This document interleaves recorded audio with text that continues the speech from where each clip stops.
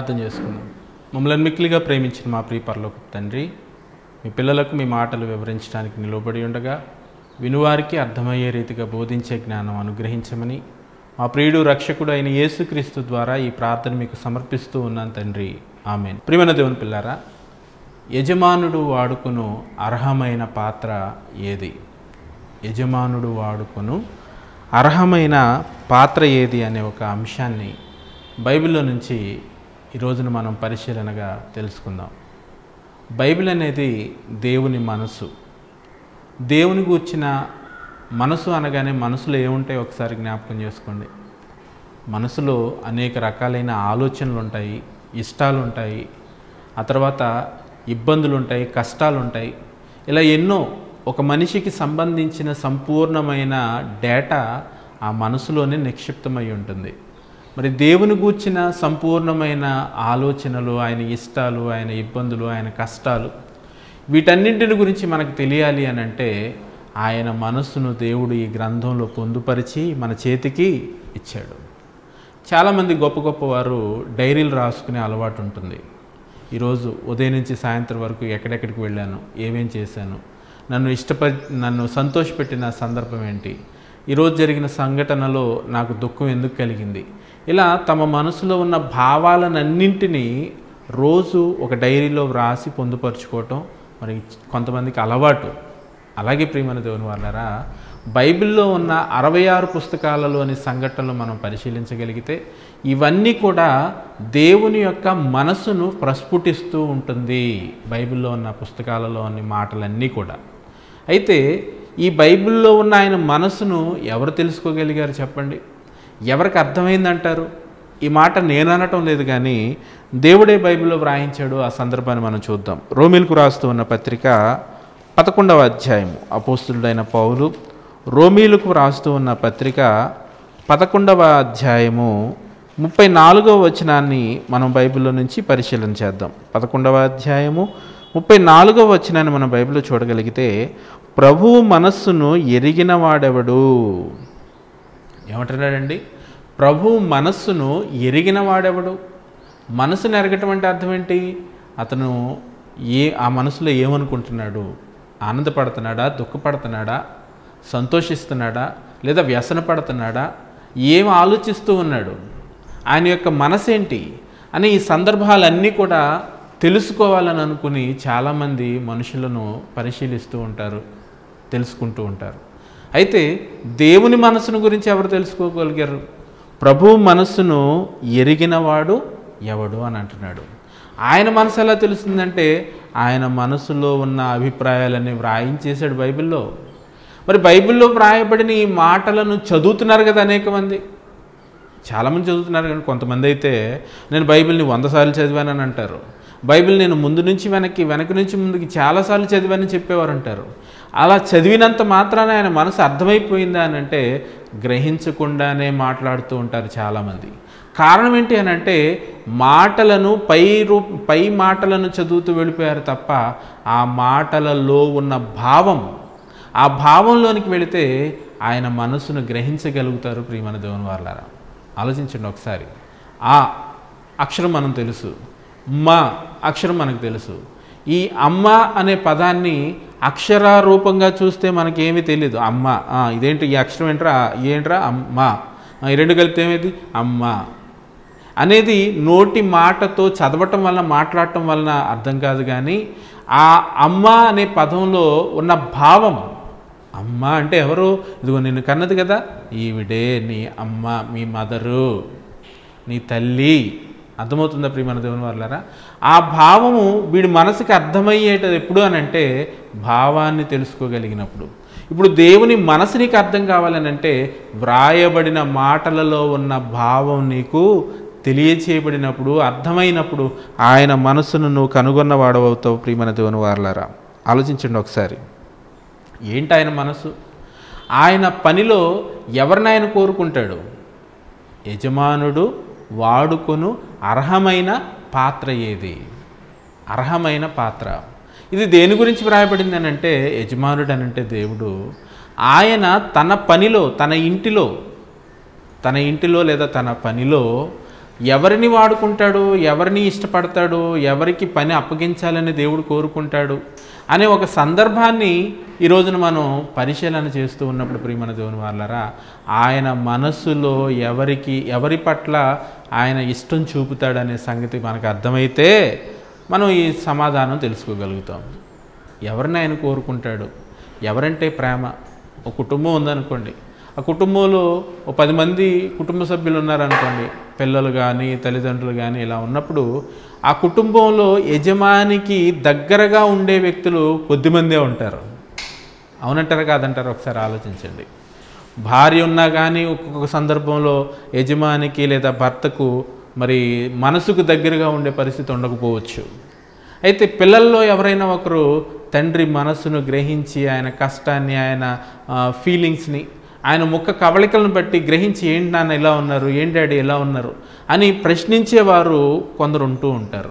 అలాంటి వారి పట్ల ఇతని యొక్క మనసు ప్రత్యేకంగా ఉంటుంది. అలాగే దేవుని ఇంటిలో లేదా దేవుని పిల్లలైన వారందరిలో ఎవరిని ఆయన తన పని కోసం వాడుకోవాలని అనుకుంటున్నాడు మనకు తెలియాలనంటే ఆయన మనసులోనికి వెళ్ళి తొంగి చూస్తే అర్థమవుతుంది. సామెతల గ్రంథము ఇరవై రెండవ అధ్యాయము ఇరవై తొమ్మిదో వచ్చిన చదువుదాం. సామెతల గ్రంథము ఇరవై రెండవ అధ్యాయము ఇరవై తొమ్మిదో వచ్చినాన్ని మనం ఒకసారి బైబిల్లో నుంచి చూద్దాం చూడండి ప్రియమణ దేవుని వారలారా సామెతల గ్రంథము ఇరవై రెండవ అధ్యాయము ఇరవై తొమ్మిదవ వచనాన్ని మనం బైబిల్లో నుంచి చూడగలిగితే తన పనిలో నిపుణత కలిగిన గలవాణిని చూసితివా? తన పనిలో నిపుణత గలవాణిని చూసితివా? అల్పులైన వారి ఎదుట కాదు వాడు రాజుల ఎదుటనే నిలు నిలుచును. ఈ మాటను మనం చదివితే ప్రియమణ దేవుని వారలారా తన పనిలో నిపుణత కలవాణిని చూసితివా? అల్పుల ఎదుట కాదు వాడు రాజుల ఎదుట నిలవబడతాడని అంటున్నాడు. సహజంగా ఎవరైనా కానీ ఏ వ్యక్తిని పని కొరకు వాడుకుంటాడు అని అంటే బాగా పని చే బట్టలు కుట్టించే పని ఉంది బట్టలు మనం మనం ధరించుకోవడానికి బట్టలు కుట్టించుకోవాలి. అలా కుట్టించుకోవాలని అనుకున్నప్పుడు ఇంటి దగ్గరగా ఉన్నాడు టైలరు మరి అనేసి వెళ్ళేసి ఇస్తామా? లేదండి. నాకు నచ్చినట్లుగా నాకు కరెక్ట్గా సెట్ అయ్యేటట్లుగా కుట్టే ఆయన చాలా కాలంగా నాకు కుడుతున్నాడండి. చాలా పెద్ద వ్యక్తి అతను. పెద్ద పెద్ద వాళ్ళు వచ్చి అక్కడ కుట్టించుకుంటూ ఉంటారు అని అనుకొని ఆ వ్యక్తి యొక్క నిపుణతను బట్టి మనం వెళ్ళి అతని దగ్గర కుట్టించుకోవడానికి ఇష్టపడతాం. అంటే అతను తన పనిలో నిపుణుడుగా ఉన్నాడు. ఒక వైద్యుడి దగ్గరికి వెళ్ళాలనుకోండి. కొత్తగా ఇప్పుడే వచ్చి హాస్పిటల్ తెరిచి పెట్టాడు ఆయన. వెంటనే వెళ్ళిపోతామా లేదండి. డాక్టర్ దగ్గరికి వెళ్ళాలంటే అమ్మో ప్రాణానికి సంబంధించింది కదా. అనుభవం ఉండాలి ఈయనకి. మరి ఈయన ఎక్కడెక్కడో చదువుకొని వచ్చాడు ఈయన డిగ్రీ ఇక్కడ కాదు అనుకుని చాలామంది వారి డిగ్రీ ఎక్కడ చేశారో ఏంటో ఇవన్నీ తెలుసుకుని మాత్రమే వెళ్తారు. అర్థమవుతుందా ప్రియమణ దేవుని వాళ్ళారా నిపుణత ఎక్స్పీరియన్స్ అనేది కావాలి. అలాగే ఏదైనా ఒక ఉద్యోగం కోసం మీరు అప్లై చేసినప్పుడు కూడా నీ ఎక్స్పీరియన్స్ అడుగుతారు. అనుభవం ఎన్ని సంవత్సరాలు ఎక్కడ పనిచేసావు అర్థమవుతుందా ప్రియమైన దేవుని వర్లరా? ఇప్పుడు దేవుని పని దగ్గరికి వచ్చేసరికి దేవుని పనిలో ఇవన్నీ చూడడని అనుకుంటున్నారా? చాలామంది అలాగే అనుకుంటారు. ఏమంటారు తెలుసా? కొంతమంది తల్లిదండ్రులు ప్రార్థన చేస్తూ ఉంటారు దేవునికి. ప్రవ్వా పెద్దవాడిని అమెరికాలో సెటిల్ చేసావు. రెండో వాడికి పలానా ఉద్యోగం నార్త్లో పంపించావు. మరి మూడో వాడు పదో తరగతి ఫెయిల్ అయ్యాడు. ఏంటో ప్రభా నీ చిత్తం అర్థం కావటం లేదు. ఒకవేళ వీడు మరి నీ సేవ కోసం నువ్వు కోరుకుంటున్నావేమో వీడిని నువ్వే తీసుకుని నీ సేవలో అభివృద్ధి పరచు ప్రభా అని ప్రార్థన చేస్తూ ఉంటారు. అవును కదా ప్రియమైన దేవుని వాళ్ళారా నీ ఇంటిలో పనికిరాని వస్తువు ఏదైనా ఉంటే అది నువ్వు దేవునికి ఇస్తావా? ఆలోచించండి ఒకసారి. అంటే దేవునికి చదువు రాని వాడు దేవునికి పనికి వస్తాడని నువ్వు అనుకుంటున్నావా? దేవునికి నిపుణత అవసరం లేదా? దేవునికి తలాంత అవసరం లేదా? అసలు ఆ తలాంత ఎవరిచ్చారు మనిషికి? మీ పెద్దవాడు బాగా ప్రయోజకుడే అంటే అతనికి ఆ బుద్ధిని జ్ఞానాన్ని దయచేసింది ఎవరు? దేవుడు కదా. అతనికి ఆ తెలివి ఎక్కడి నుంచి వచ్చింది? మరి వీడికి ఎందుకు రాలేదో తెలివి? ఆ జ్ఞానాన్ని బుద్ధిని దయచేసేది దేవుడైనప్పుడు ఆ తలాంతుని దేవుని పని కోసం వినియోగించాలనుకునే దేవుడు వానికి ఆ తలాంతిని ఇస్తే నువ్వేమో నీ స్వార్థం కోసం నీ అవసరం కోసం వాడిని లోకంలో సంపాదన కోసం పంపించేసి పనికిరాని వాడిని తీసుకొచ్చి దేవుని పనిలో వాడుకోమని దేవునికి ఇస్తావా? నీకు దేవుడు అలాగే ఇచ్చాడా? కుళ్ళిపోయిన యాపిళ్ళు నీ కోసం ఏమైనా పండించాడా? లేదా నువ్వు తినే ఆహారంలో ఏ పదార్థమైన ఫ్రెష్గా ఉంటే కానీ తినవు నువ్వు. అవును కదా? వేడివేడిగా ఉండాలి ఫ్రెష్గా ఉండాలి నీట్గా ఉండాలి రుచికరంగా ఉండాలి. ఇన్ని కోరుకుంటున్నావు నీకు అన్ని దేవుడు అలాగే ఇస్తా ఉన్నాడు. మరి దేవునికి నువ్విచ్చే విషయంలోకి వచ్చేసరికి నీ మనసు ఎలా ఉందో తెలుసా? పనికిరా అని దేవునికి ఇస్తా అనుకుంటున్నావా? ఆయన కూడా ఎవరిని చూస్తాడు తెలుసా? నిపుణత కలవారినే చూస్తాడు నిపుణులైన వారిని ఎంపిక చేస్తాడు. తెలుసా ప్రియమైన దేవుని వారులారా? ఆయన ఎంపిక ఎలా ఉంటుందో మచ్చుకు కొన్ని ఉదాహరణలు మన బైబిల్లో నుంచి చూద్దాం. నిర్గమాకాండము ముప్పై రెండవ అధ్యాయము. నిర్గమాకాండము ముప్పై రెండవ అధ్యాయము ఏడవ వచ్చిన చదువుకుందాం చూడండి ప్రియమైన దేవుని వారులారా. మోషే అండి. మోషే నా ఇల్లంతటిలో నమ్మకమైన వాడు మిక్కిలి సాత్వికుడని దేవుడే సాక్ష్యం ఇస్తా ఉన్నాడు కదండి మోషేని గురించి. ఎందుకు దేవుడు మోషేని ఎంపిక చేసుకున్నాడు?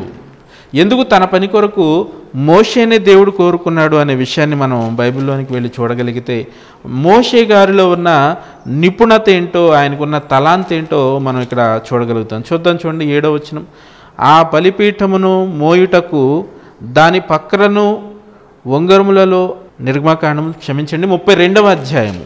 నిర్గమాకాండము ముప్పై రెండవ అధ్యాయము ఏడవ వచ్చిన చదువుకుందాం చూడండి ప్రియమైన దేవుని వారు కాగా యహోవా మోషత్ ఇట్లా నేను నీవు దిగి వెళ్ళుము ఐగుప్తు దేశము నుండి నీవు రప్పించిన నీ ప్రజలు చెడిపోయిరి నేను వారికి నియమించిన త్రోవ నుండి త్వరగా తొలగిపోయి తమ కొరకు పోత పోసిన దూడను చేసుకుని దానికి సాగిలపడి బలి నర్పించి ఓ ఈ ఇస్రాయేలు ఐగుప్తు దేశం నుండి నిన్ను రప్పించిన నీ దేవుడు ఇదే అని చెప్పుకొనిరా నేను. ఈ సందర్భాన్ని మనం ముందు నుంచి ఆలోచిస్తే ప్రియమైన దేవుని వాళ్ళారా ఎందుకు దేవుడు మోషేనే కోరుకున్నాడు? అహరోను వాక్చాతుర్యం గలవాడు కదా. మోషేనేమో నాకు నోటి మాంద్యం ఉందని చెప్తూ ఉంటే అహరోను తోడుగా దేవుడు పంపించాడు. మరి అలాంటప్పుడు అహరోనునే ఎందుకు ఎంపిక చేయలేదు? మోషేని ఎందుకు దేవుడు ఎంపిక చేశాడని అంటే మోషే భవిష్యత్ అంతటిని దేవుడు చూసి ఇతను నాకు మరి ప్రయోజనకరమైన వాడుగా నమ్మకమైన వాడుగా నా పనిని నెరవేరుస్తాడని నమ్మి మోషేకి బాధ్యతను అప్పగించాడు. అహరోన్ పరిస్థితి ఏమైపోయిందనంటే చూశారు కదండి నలభై రోజులు ఐగుప్తు దేశం నుండి విడిపించి ఇజ్రాయేల్ జనాంగాన్ని అంతటిని నడిపించిన దేవుణ్ణి ప్రజలందరూ కూడా నలభై రోజులు మోషే క్రిందికి రాకపోయేసరికి ఒక దూడను చేసి ఈ ఇదే మమ్మల్ని అక్కడి నుంచి నడిపించిందని మాట్లాడుతూ ఉన్నారని అంటే నలభై రోజులు వారిని దేవుని మాట చొప్పున సంరక్షించలేకపోయాడండి అహరోను. అది మోషే నలభై సంవత్సరాలండి. ఐగుప్తు దేశాన్ని విడిచి కనాను దేశాన్ని చేరటానికి వారికి పట్టిన కాలం నలభై సంవత్సరాల కాలం అయితే ఈ నలభై సంవత్సరాల కాలం మోషే ఇస్రాయేలీలైన వారందరినీ ఎలా ఓర్చుకున్నాడో ఎలా సహించాడో ఎంతగా తన ప్రేమను సాత్వికమైన తన స్వభావాన్ని ప్రదర్శించాడో మనం బైబిల్లో పరిశీలించగలిగితే అందుకే అతను ఎంపిక చేయబడ్డాడు ఈ మహా కార్యక్రమానికి అర్థమవుతుందా? తన పనిలో నిపుణత కలవాణిని చూసితిరా? అలుపుల ఎదుట కాదు రాజుల ఎదుటనే వారిని నిలవబెడతానన్నాడు దేవుడు. అర్థమవుతుందా ప్రియమణ దేవుని వారులారా? దేవుని పనిలో తన ప్రజలైన ఇజ్రాయేలీలను రక్షించటానికి నడిపించటానికి నమ్మకమైన సహనం కలిగిన సాత్వికుడైన ఒక నాయకుడు కావాలనుకున్నాడు. మోషేను కోరుకున్నాడు. మోషే కొరకు ఎదురు చూశాడు ప్రియమైన దేవుని వాళ్ళారా నలభై సంవత్సరాల వరకు ఫరో మరి కుమార్తె ఇంట ఉన్నాడు. అవును కదండి? తల్లి సంరక్షణలో ఉన్నాడు. ఆ తర్వాత తప్పు చేసి వెళ్ళిపోయాడు. ఎక్కడికి? మిథ్యాన్ ప్రాంతానికి వెళ్ళిపోయాడు. మరొక నలభై సంవత్సరాలు అక్కడే ఉండిపోయాడు. ఎనభై ఏళ్ళు అయిపోయింది. మోషే కావాలి తన ప్రజలను విడిపించాలని దేవుడు కోరుకుని అతన్ని పుట్టించినా కానీ ఎనభై సంవత్సరాల కాలం అయిపోయినా కానీ తిరిగి మరలా అతని కొరకు దేవుడు ఎదురు చూసి అతన్ని తిరిగి నడిపించి ఇజ్రాయేలీలైన తన ప్రజలను అందరినీ విడిపించి నడిపించిన విధానాన్ని మనం చూస్తూ ఉంటే అతనిలో ఉన్న గొప్ప లక్షణం సాత్వికం. మరొక నమ్మకమైన వ్యక్తి ఉన్నాడు. ఆయన ఎవరో తెలుసా? దావీదండి. దావీదు నా ఇష్టానుసారుడైన మనుషుడని దేవుడు పలుకుతూ ఉన్నాడు కదండి. నా ఇష్టానుసారుడైన మనుషుడు అని అంటున్నాడు. ఏంటి? అతనిలో ఉన్న నిపుణత ఏంటి? దావీదులో ఉన్న లక్షణం ఏంటనే విషయాన్ని మనం బైబిల్లో నుంచి చూడగలిగితే సమూహలు మొదటి గ్రంథము పదిహేడవ అధ్యాయము ముప్పై ఒకటవ వచ్చినాన్ని చదువుతాను చూడండి ప్రియమైన దేవుని వారలారా. సమూహలు మొదటి గ్రంథము పదిహేడవ అధ్యాయము ముప్పై ఒకటో వచ్చిన అండి. ఇతనిలో ఉన్న స్వభావాన్ని ఇతనిలో ఉన్న నిపుణతను దేవుడు ఏమి గమనించాడనే విషయాన్ని మనం చూస్తే ప్రియమైన దేవుని వారలారా తన మరి తాను మందల కాపరి కదా గొర్రెల కాపరిగా ఉన్నాడు దావీదు. మరి తాను ఏదైతే మందను కాస్తూ ఉన్నాడో ఆ మందలో మరి గొర్రెను ఒక సింహము వచ్చి నోట కరుచుకున్నప్పుడు ఆ గొర్రెల యొక్క ప్రాణాన్ని కాపాడటానికి ఇతని ప్రాణాన్ని ఒడ్డి ఆ సింహంతో పోరాడటం ఈ సందర్భాన్ని దేవుడు చూశాడు. చూసి ఇతనే నా ప్రజలను ఇంత చక్కగా తన మందను కాపాడుతూ ఉన్నాడు కదా. నా సొంత జనంగమైన నా ప్రజలైన ఇస్రాయేలీలు ఇతని పాలనలో ఇతడు నాయకుడిగా నియమించబడితే గొప్పగా వారిని పాలిస్తాడనుకుని దావీదును దేవుడు ఎంపిక చేసుకున్నాడు. చదువుతాం చూడండి పదిహేడవ అధ్యాయము ముప్పై ఒకటవ వచ్చినాన్ని బైబిల్లో నుంచి మనం చూడగలిగితే ప్రియమణ దేవుని వారలారా.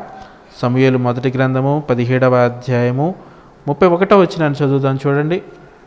దావీదు చెప్పిన మాటలు నలుగురికి తెలియగా సందర్భాన్ని మనం చూడగలిగితే ప్రియమైన దేవుని వార్లరా సమయలు మొదటి గ్రంథం పదిహేడవ అధ్యాయము ముప్పై ఒకటో వచ్చినము మీ అందరికీ తెలిసిందే గొల్యాతు దేవుని సైన్యాన్ని ధిక్కరించి దేవుని సైన్యాన్ని ధిక్కరించి ఇస్రాయేల్ జనాంగం అంతటినీ కూడా సవాలు చేసి మాట్లాడుతున్న సందర్భాన్ని దావీదు విని వచ్చాడు. ఎవడు వీడు? జీవం గల దేవుని సైన్యానికి విరోధంగా మాట్లాడుతున్న వీడెవడు? అని అతని మీద కోపంతో రగిలిపోతూ ఏ నిర్ణయం తీసుకుని ఏం చేస్తూ ఉన్నాడు చదువుదాం చూడండి ముప్పై ఒకటో వచ్చిన దావీదు చెప్పిన మాటలు నలుగురికి తెలియక జనులు ఆ సంగతి సౌలుతో తెలియచెప్పిరి గనుక అతడు దావీదును పిలువనంపెను ఈ ఫిలిస్తీని బట్టి ఎవరి మనస్సును కృంగ కృంగ నిమిత్తము లేదు మీ దాసుడనైన నేను వానితో పోట్లాడుదునని దావీదు సౌలుతో అనగా సౌలు ఈ ఫిలిస్తీని ఎదుర్కొని వానితో పోట్లాడుట నీకు బలము చాలదు నీవు బాలుడవు. వాడు బాల్యము నుండి యుద్ధాభ్యాసము చేసిన వాడును వాడని దావీదు తానెను. అందుకు దావీదు సౌలుతో ఇట్లను మీ దాసుడనైన నేను నా తండ్రి తండ్రి యొక్క గొర్రెలను కాయుచుండా. సింహమును ఎలుగుబంటియు వచ్చి మందలో నుండి ఒక గొర్రె పిల్లను ఎత్తుకొని పోవుచుండగా నేను దానిని తరిమి చంపి దాని నోట నుండి ఆ గొర్రెను విడిపించి తిని అది నా మీదికి రాగా దాని గడ్డము పట్టుకుని దానిని కొట్టి చంపి తిని మీ దాసుడనైన నేను ఆ సింహము ఎలుగుబంటిని చంపి తినే జీవము గల దేవుని సైన్యములను తిరస్కరించిన ఈ సున్నతి లేని ఫిలిస్తీయుడు వాటిలో ఒకదాని వలె అగుననియు. ఆలోచిస్తే ప్రియమైన దేవుని వాళ్ళారా ఇతనిలో ఉన్న నిపుణత ఏంటి అని అంటే సింహపు నోట నుండి మరి గొర్రెపిల్లను కాపాడాడు దేవుడు చూశాడు. ఫిలిస్తీన్ల చేతిలో నుండి గొల్యాతు ప్రా నరికి గొల్యాతు తలను తెగ నరికి ఇస్రాయేలీల పక్షాన యుద్ధం చేయటానికి ఒక నమ్మకమైన నాయకునిగా నిలవబెట్టాడు దావీదుని. కోరుకున్నాడు దావీదుని. నేను యశ్ఐ కుమారుడు దావీదును కనుగొంటిని అని దేవుడు అంటూ ఉన్నాడనంటే ఆయన పరిశీలిస్తూ ఉన్నాడు నా ప్రజలను కాపాడటానికి నమ్మకమైన నాయకుడు ఎక్కడ దొరుకుతాడు?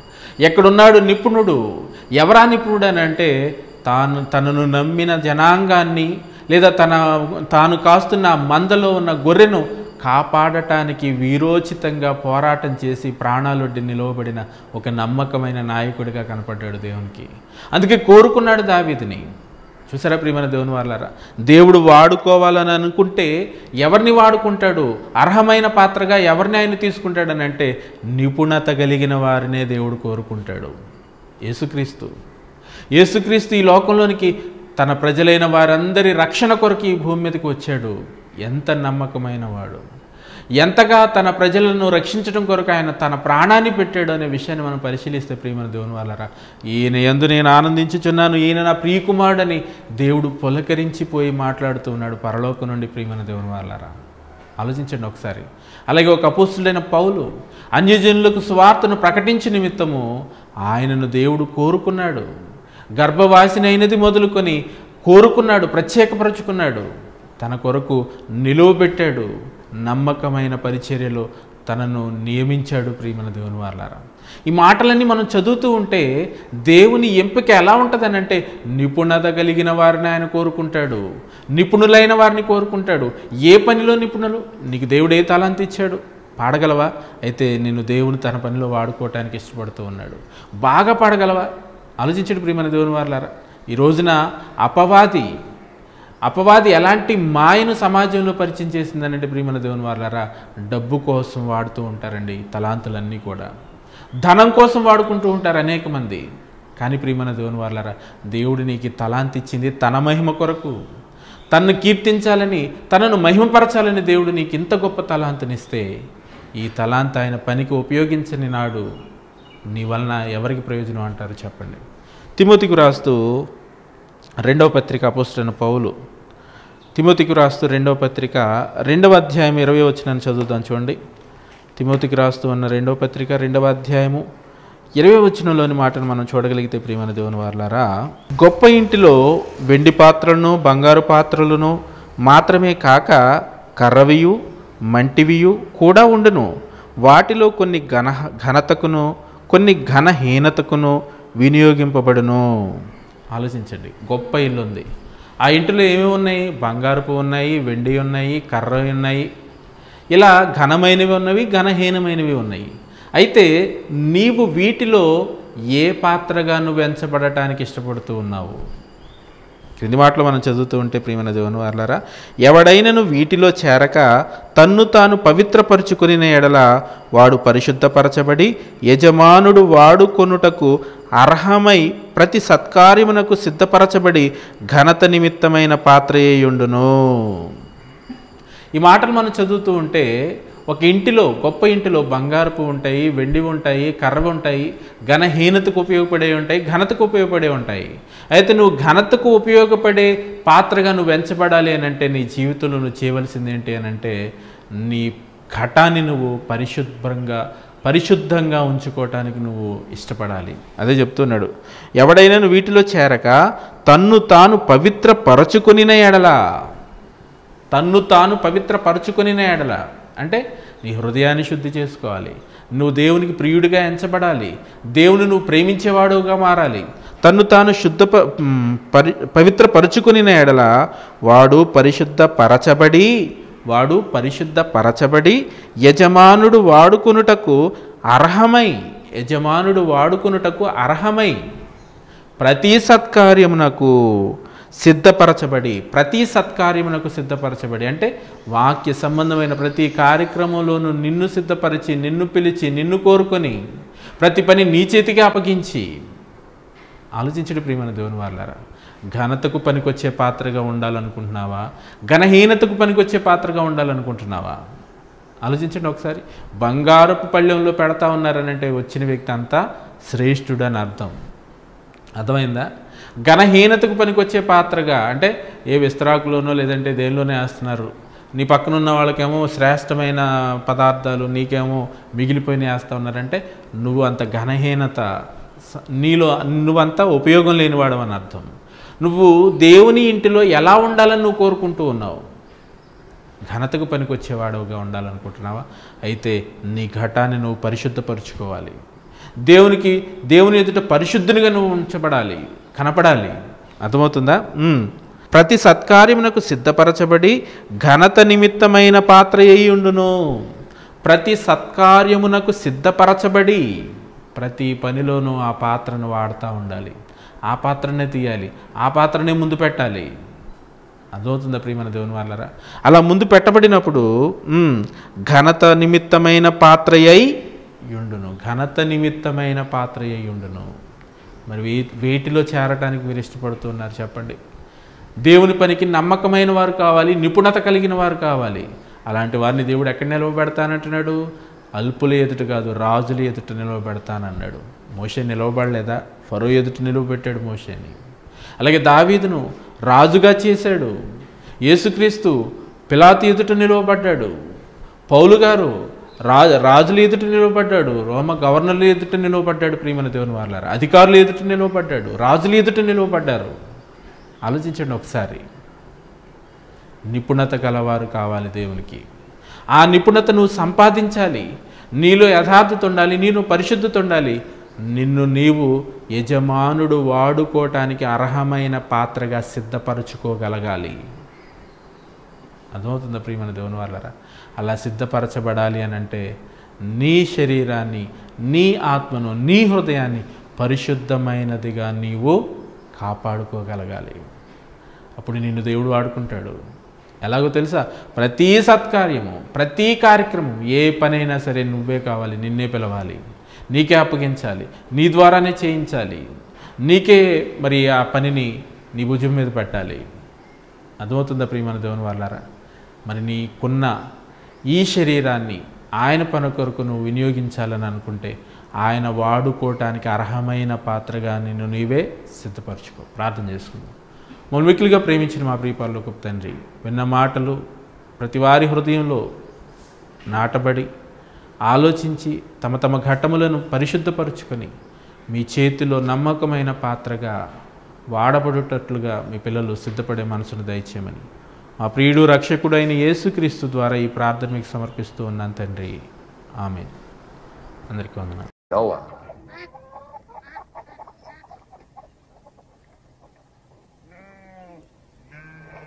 Noah. The end of all flesh is come before me. For the earth is filled with violence through them. And behold, I will bring a flood of waters upon the earth to destroy all flesh. Everything that is in the earth shall die.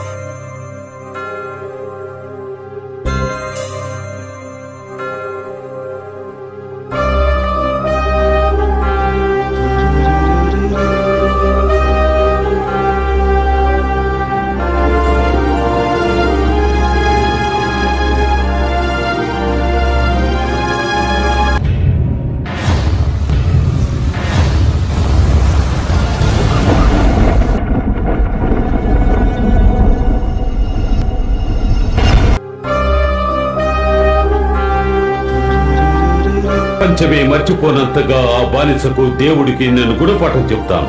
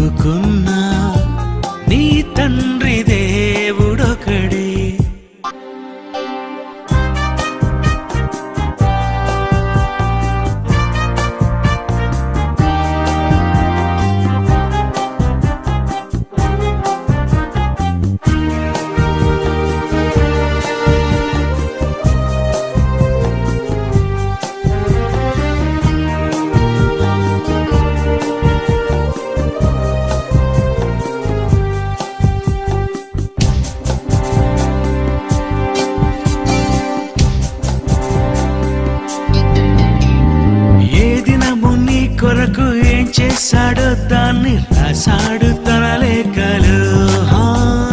తన లేఖలన్నిటినీ గ్రంథముగా ముద్రించి పెట్టాడు నీ చేతిలో. ప్రేముంది పగ ఉంది బాధుంది చెందుంది మనసంతా చెప్పేసినాడు. తన మాట వినకుంటే తన చెంతకు రానంటే నువ్వు దక్కవని తెలిపినాడు. మనసులో ఉన్నది ఏ మనిషి అది చెప్పడు. తన మనసులో ఉన్నది రాశాడు